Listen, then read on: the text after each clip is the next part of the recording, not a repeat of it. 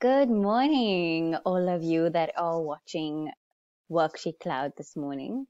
I hope that you have had a good night's rest and that you slept well and maybe even slept in a little bit for those of you that are still at home. Um, so today we are going to be doing quite an interesting lesson and yes, you do need a pencil or a pen and a page so that you can write some things down as we go along grade 4s. As you know, if you have any questions regarding this lesson or any of my other lessons, please send an email to grade4 at worksheetcloud.com and we will get back to you as soon as we can after this lesson. So let's see what we're going to be learning today.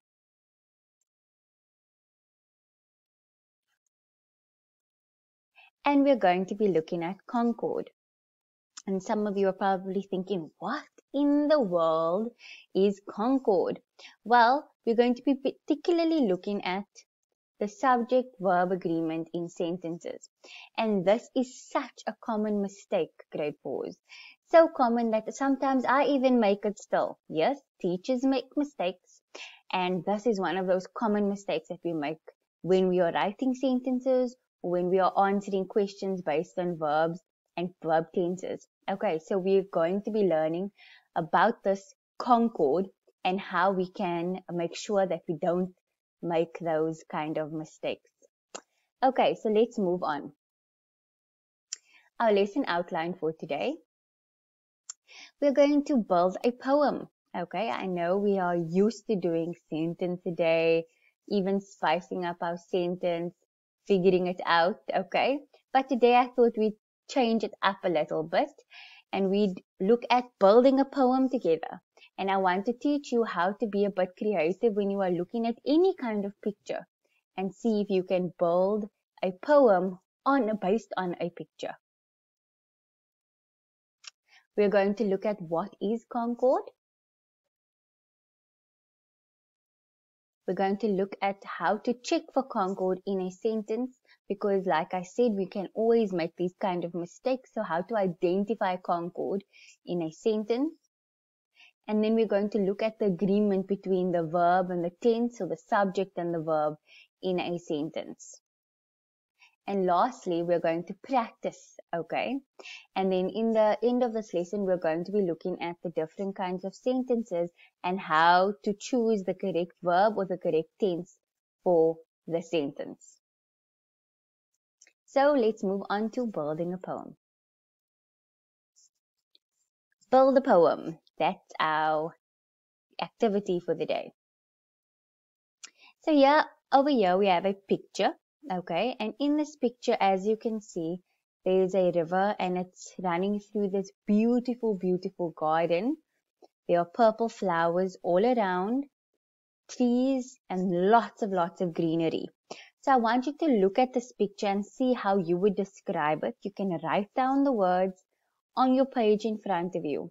And I want you to do that now. So all the colors, all the descriptions that you can have for this picture, write them down now on your page and let's see if we can build a poem together. Good luck, grade fours.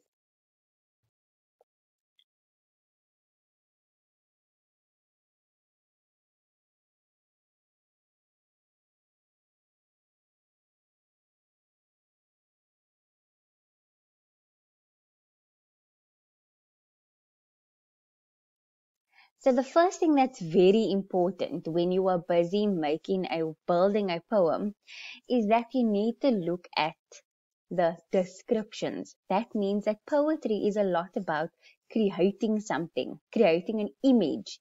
And in order for us to create an image, we need to describe what that image looks like. So you have learnt over the course of these law of these lessons, you have learnt about figures of speech, which we love to use in poetry. Figures of speech include alliteration, assonance, personification, metaphor, um, simile. Okay, these are all just a few types of figures of speech that we can use in a poem to make our poem a little bit more creative or imaginative. So, in this picture, I wanted you to write down words because sentences always begin with words, obviously, and the words are chosen for a specific reason. Now, I have already built my poem, but my goal is to get you there to build yours. So we're going to start with one line first. So let's think of any line here, okay? Let's think of the flowers grow on the side, okay? So the flowers grow on the side. My last word is side. And if I decide, decide to use a rhyming word, I would have to put my word side on the screen and then try and remember every other word that could possibly rhyme with the word side, like lied, hide, okay? And then I write my next line. And so I carry on. But remember, it can't just be any words put together. It must be words that make sense and have to do with the picture. So with all of that said, grade fours, let's see what I came up with.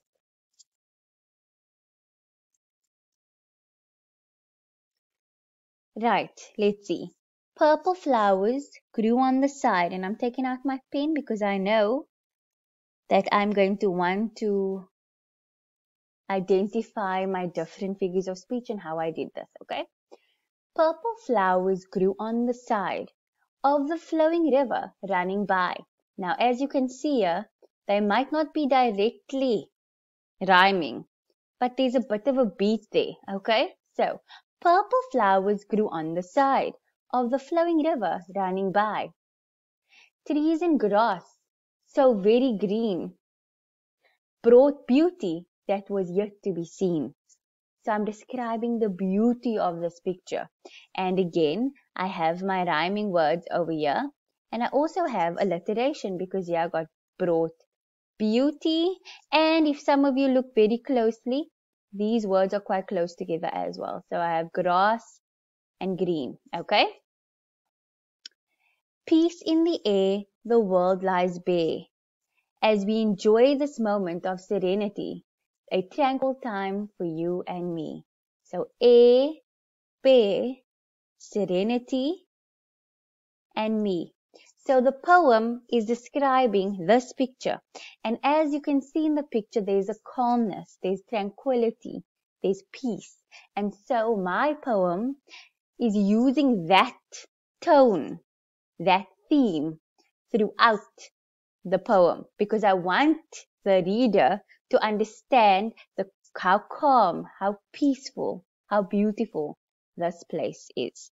So I'm going to read my poem one more time and I really encourage you to please write your own one based on this picture. So, purple flowers grew on the side of the flowing river running by. Trees and grass are so very green, brought beauty that was yet to be seen.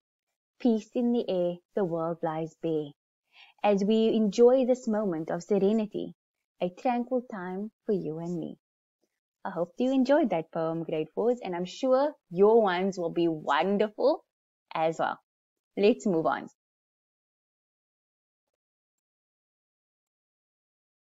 What is concord? Concord indicates that the words in a sentence must match or agree with one another. If the tense does not is not consistent throughout the sentence, that means that the sentence does not match and therefore it is wrong. Okay? The same way, the subject and the verb has to match each other in order for it to make sense. As we go on in this lesson, you're going to see what I mean when I say that it has to match one another.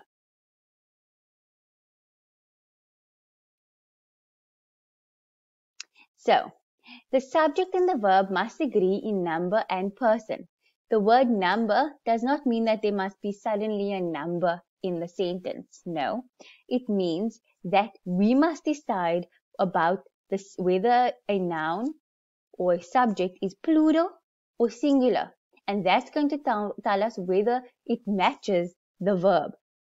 So this is very important, grade fours, because like I said right in the beginning of this, of this lesson, this is a common mistake that a lot of us make. So beware and take note as I go on. So, to decide whether the verb must be singular or plural, you have to find the subject. Now, the subject of a sentence is who or what the sentence is about. The girl jumped over the fence. The girl is who or what the sentence is about. And therefore, the girl will be the subject of the sentence. Decide whether it is singular or plural.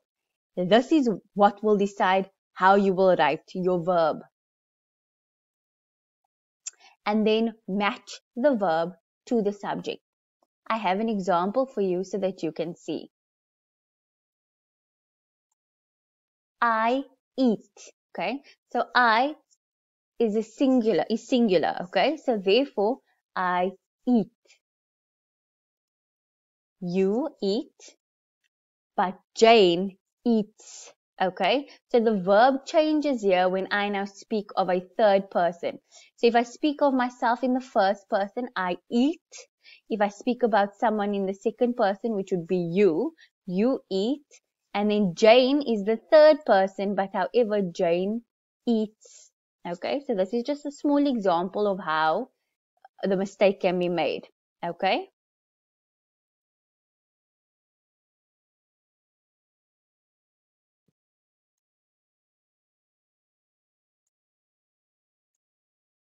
The subject. The subject may consist of a group of words. Specifically, we can look at the collective noun, which refers to a group as a unit. Now, how does this become difficult, grade fours? Well, we have to decide when we are busy with the sentence whether the sentence, the subject is in singular form or plural form. The collective noun makes things a little bit complicated because it's a group of things. However, a collective noun is also referring to something as one single unit. So therefore, it needs to be treated as singular, even though it's referring to a group of things. For example, the class of students was kept for detain in for detention. Now, the important part here is was was refers to singular, a singular subject. The class of students, even though it was a class of students, we're referring to the one part of this, which is the class. There were, weren't many classes of students. It was just one class and the students is now referred to as it's a singular unit because it's a class of students.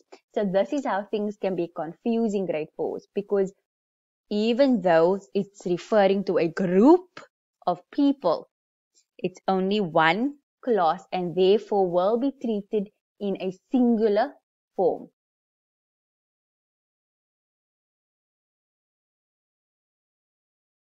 So what I did was I wanted to explain this to you. So if I take the class of out and I put the students were kept in for detention. Suddenly, the verb, which was was in the sentence, the verb was in the sentence over there, suddenly that can no longer be was because now we are looking at plural. And the students, that word is in plural. One student, many students. And therefore, my verb changes to were instead of was. So I'll repeat grade fours. The class of students refers to a singular unit, one class of students, and therefore our verb will be was. However, if we take the class of away and we say the students were kept in for detention, the students are now plural, which is many of, and therefore were is in place of was. I really hope that made sense.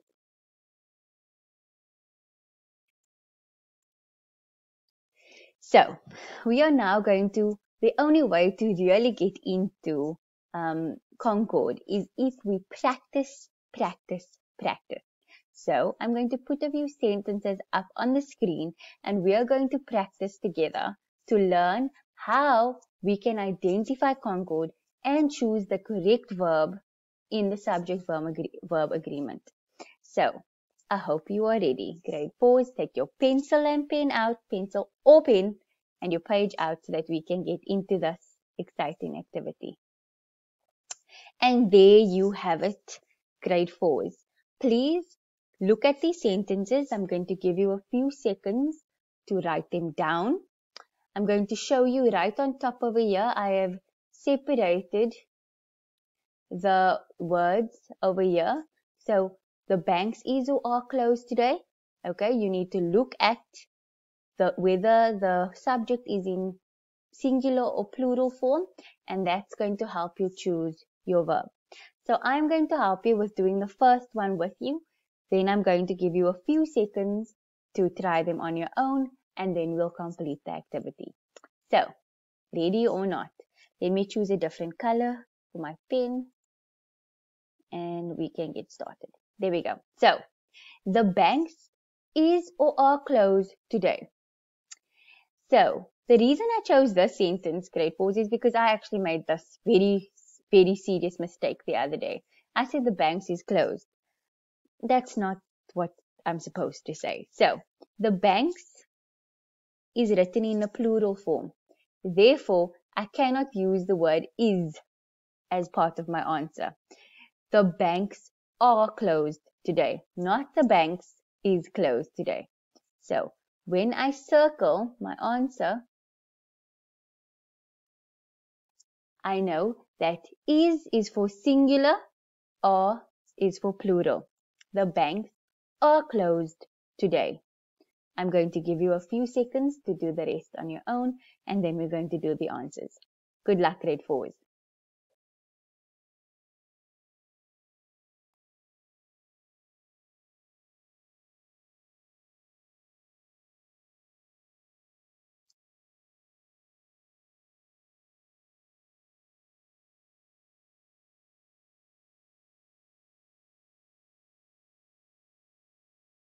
If you need some extra time, you may pause the video at this stage so that you can finish the activity on your own and then learn what the answers are as I continue. So, my brother and I enjoy or enjoys going camping. My brother and I refers to plural, okay? My brother and I. So therefore, I will not be using enjoys. I'll be using enjoy.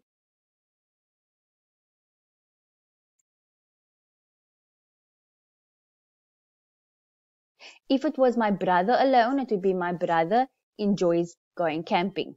But since it's my brother and I, it's my brother and I enjoy going camping. Joe eat or eats all of his food. It is Joe eats all of his food. Right. I am or are going for a walk.